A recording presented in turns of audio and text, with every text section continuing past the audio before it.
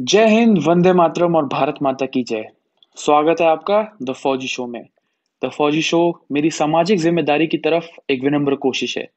इस शो से इकट्ठा किया हुआ हर पैसा भारत की वीर फाउंडेशन में जाएगा ताकि हमारे शहीद भाई-बहन की फैमिलीज़ को कभी भी कोई भी आर्थिक समस्या ना आए। उम्मीद करता हूँ आपको ये शो पसंद आएगा। आपके एक लाइक, शेयर और सब्सक्राइब से किसी की सहायता हो सकती है। क्योंकि मैं खुद एक एक्स एनडीए हूँ और नेशनल डिफेंस एकेडमी में तीन साल ट्रेनिंग किया हूँ। मैं सम्मान करता हूँ हर उस भाई बहन का जो सरहद पर है, ताकि हम जैसे लोग, आप और मैं, आराम से ज़िंदगी जी सके। जय Hind.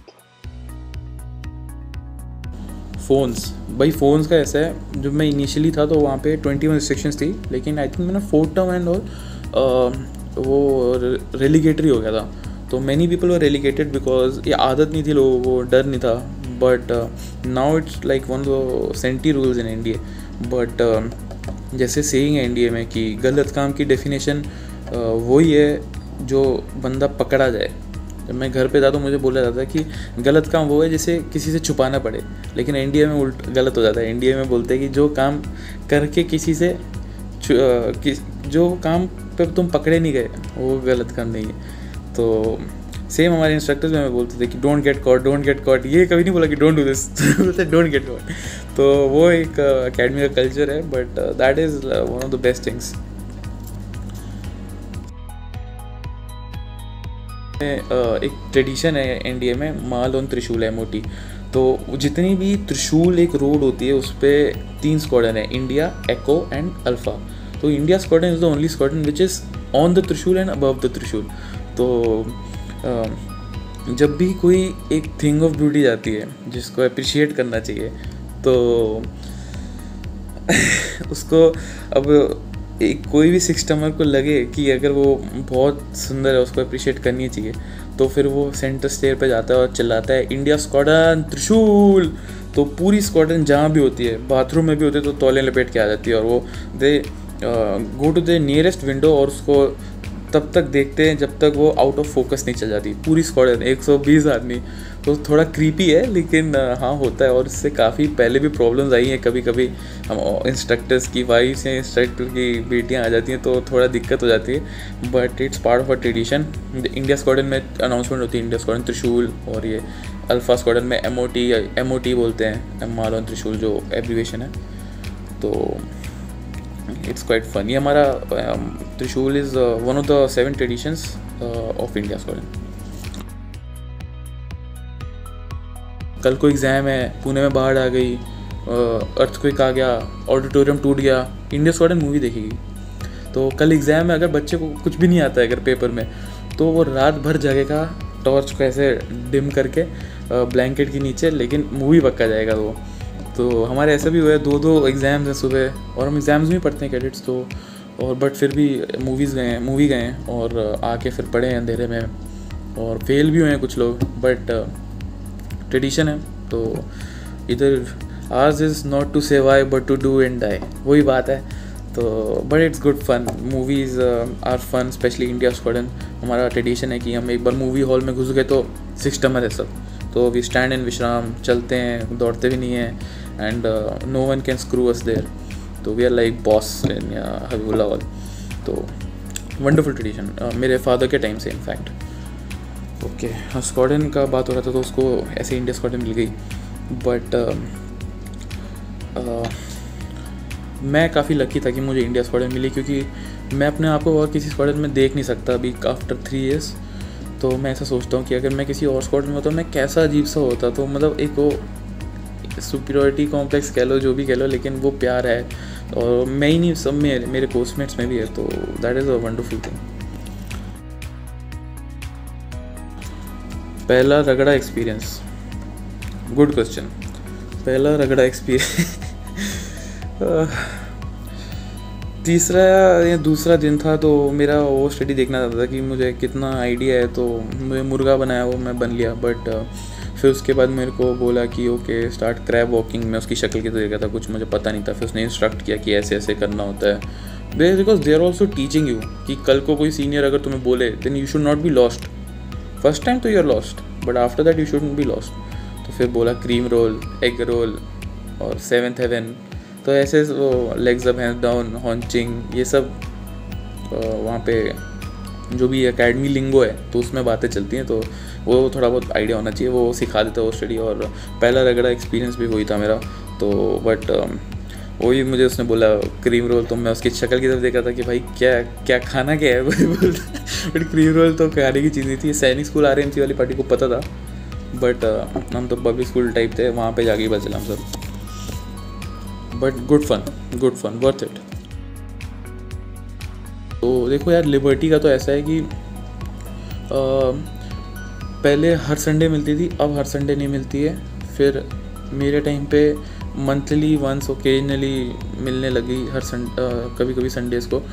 But provided you pass your D S T जो ड्रिल स्क्वायर टेस्ट होता है और वो सेकेंड टर्म में होता है दैट इज़ मैंडेटरी तो वो पास करो और तुम चले जाओ अपना लिबर्टी पे। और मुझसे पूछा था कि लिबर्टी पे आउट ऑफ़ बाउंड्स तो हाँ कुछ केमिस्ट की दुकानें होती हैं, फिर वहाँ पे एक बुधवार बुधवार पेट करके ब्रॉथल है तो वो भी आउट ऑफ़ बाउंड है बट वहाँ पे कैडेट्स जाते हैं, वो पकड़े जाते हैं, फिर फिर उनका बैंड बजता है आके अकेडमी में। तो वहाँ पे कोविड ऑपरेशन चलते पूरा ड्रिल सब पार्टी घूम रही होती है, और हेयर कट से पहचान लेती है हाँ कैडेट तू इधर आ जा। तो ऐसा होता है, जैसे फ़र्स्ट डे पे तुम सब आ जाते हो, वहाँ पे डरे, सहमे से कि मेरे साथ क्या होगा, मुझे कौन सी स्क्वाडन मिलेगी?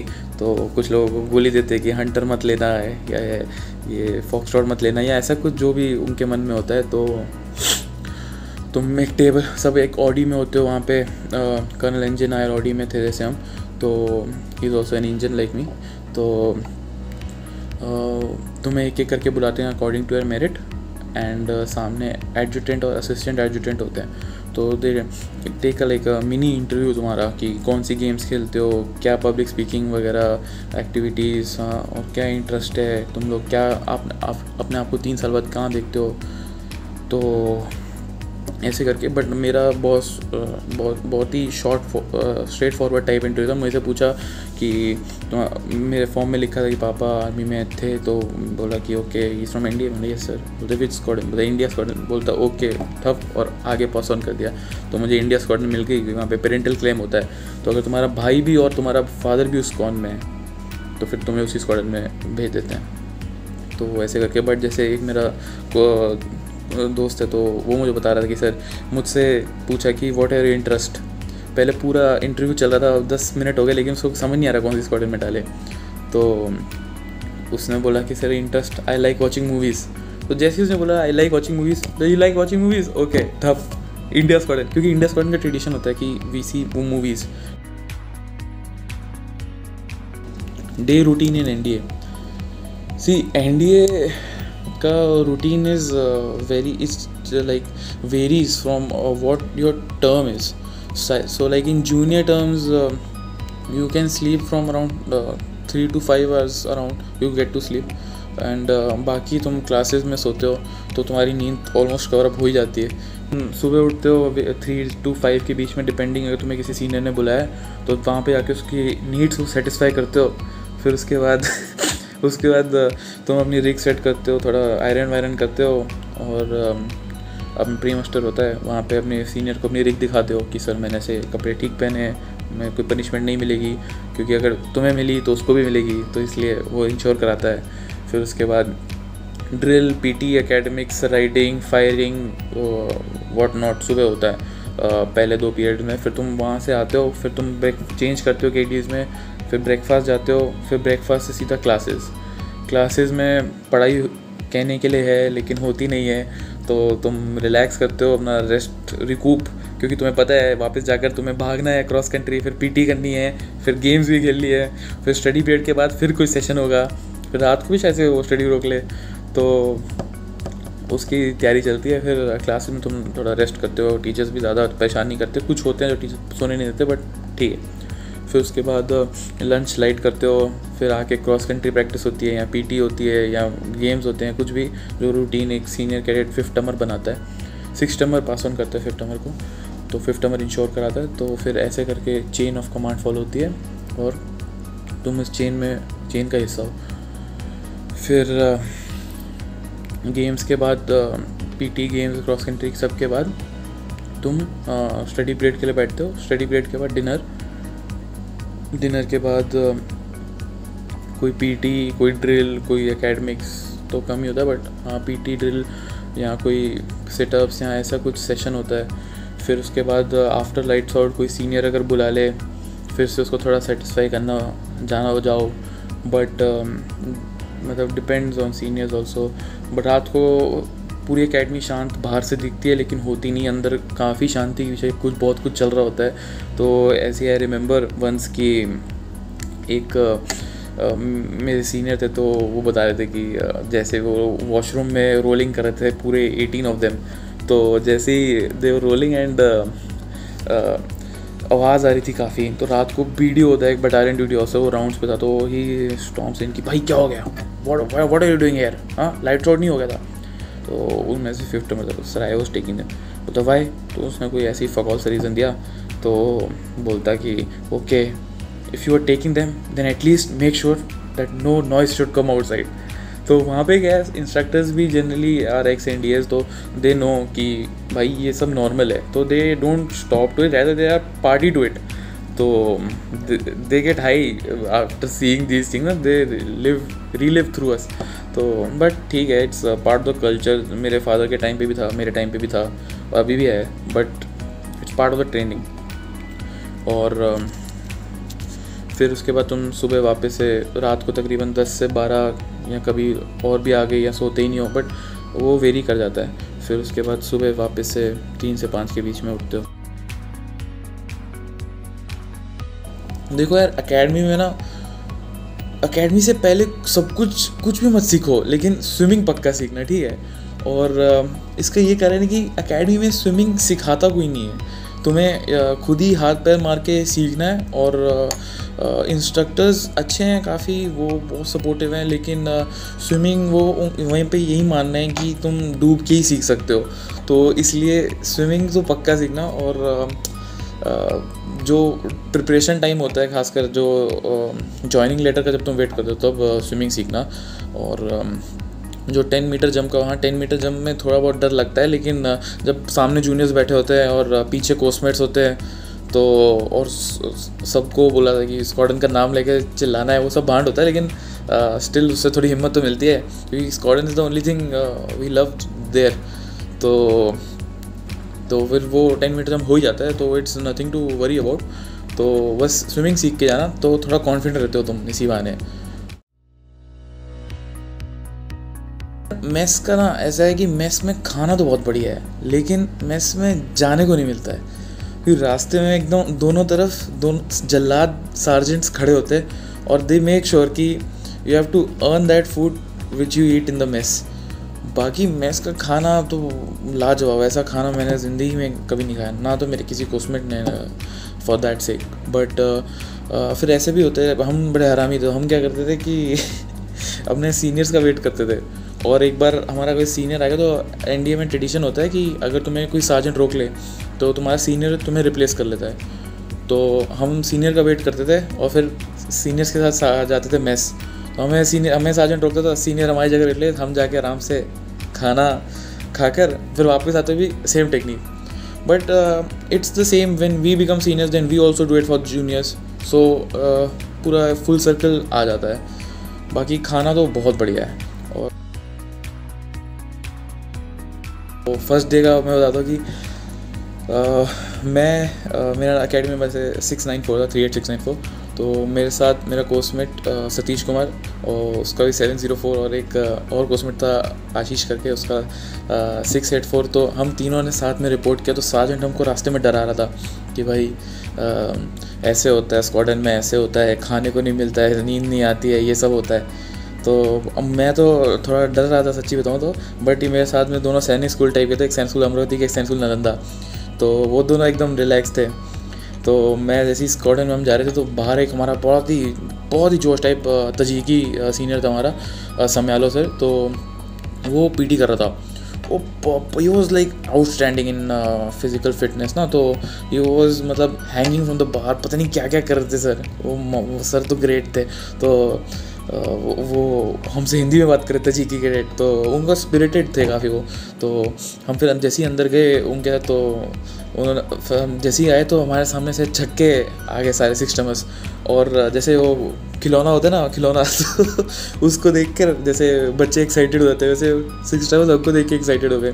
बट फिर उन्होंने पूछा कि कौन सा which place what is the name which place which school तो सतीश कुमार से नालंदा चलो उसको ले गए कि भाई उसको ले गए हमारा और इंडिया स्क्वाडन का ही सीनियर होता था तो उसके फिर बातें होने लगी और फिर एक अमरावती, फिर उसके स्कूल वाले उसको ले गए। अब रह गया मैं, अब पब्लिक स्कूल, आर्मी स्कूल तो मुझसे पूछा हाँ विच स्कूल बोलता वॉट फादर ने अच्छा सोसा कम हेयर मैं से स्टार्ट रोलिंग सर, पहला डे तो अरे I am just kidding but first day थोड़ा मतलब इंडक्शन होता है तो इनिशियली हनीमून पीरियड जैसा होता है तो एक हफ़्ता काइंड ऑफ़ बोलते एक महीना का लेकिन होता है एक हफ़्ते के आसपास का ही है।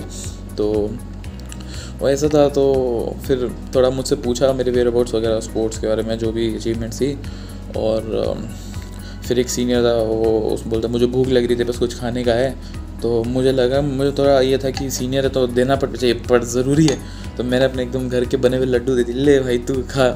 और मैं सोचा, वो एक दो लेगा, वो पूरा ही डब्बा ही ले गया बट ठीक है इट्स फन दोनों साइड रहा हूँ मैं फ़र्स्ट और सिक्स में तो इसलिए आई कैन रिलेट की दिया भी है, लड्डू के डब्बे लिए भी है तो वो फिर it comes to a full circle जो मैंने पहले ही बोला था। तो बट हाँ फ़र्स्ट डे बड़ा मतलब थोड़ा सा एक्साइटेड रहता है आदमी नेचुरली और फ़र्स्ट uh, नाइट uh, थोड़ी मुझे वहाँ पे डरावनी लगी थी। बट uh, क्योंकि नो मोमेंट हो गई तो कैडेट्स बाहर भागने की आवाज़ें आ रही थी। और बट uh, ठीक है you with the help of your coursemates जब कोर्समेट्स तुम्हारे साथ होते हैं तो तुम्हें इतना लगता नहीं तो you guys get in the grade of the academy तो that is that is S S B is not at all tough ये बहुत ही गंदी मिसकनसेप्शन है। They are just looking for those kind of candidates who have those fifteen qualities to an extent जिसपे वो harness करके they can improve upon it so if you have those fifteen qualities to an extent that can be improve further so I think S S B is not at all tough for that guide so the syllabus for S S B is you only it's not some from book और कोई video से कुछ नहीं आएगा तो सब book से आएगा तो एक बार बुक से बुक uh, सब uh, हमारे पे आएगा तो हमसे ही है सिलेबस तो इसलिए you have to know yourself you have to know your weaknesses your strengths how you are तो that is the syllabus for S S B तो इसमें बिल्कुल कोई टफ वफ नहीं है। तुम ही हो इसके सिलेबस तो तैयारी जम के करो। स्माइल तो ब्रह्मास्त्र है तुम्हारा एसएसबी में। अगर तुम कहीं भी फंसते हो तो जस्ट स्माइल एंड से कि sir I I am not aware but I will let you know in conference या जो भी तो I will read about it ऐसे भी बोल सकते हो।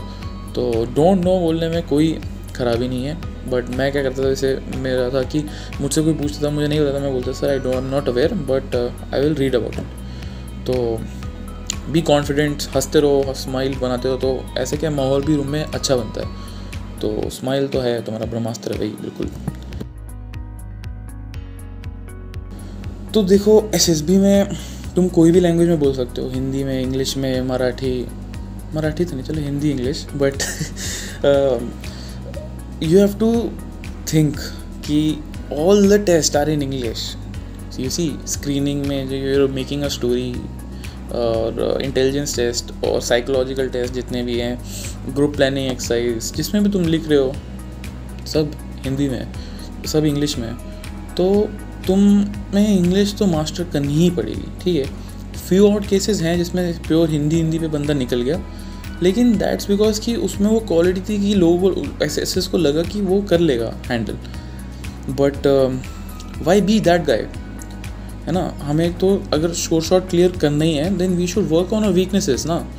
अगर हम अपनी वीकनेसेस पे काम नहीं कर रहे तो how will I how will we explain this in the S S B तो अगर हमारी वीकनेस है कम्युनिकेशन सेल्स इंग्लिश इंग्लिश तो work on that in fact मेरा भी काफ़ी प्रॉब्लम था इंग्लिश में बिकॉज़ इनिशियल ईयर्स में मैं हिंदी मीडियम टाइप स्कूल्स में पढ़ता था, बबीना झांसी जैसी छोटी जगहों पे।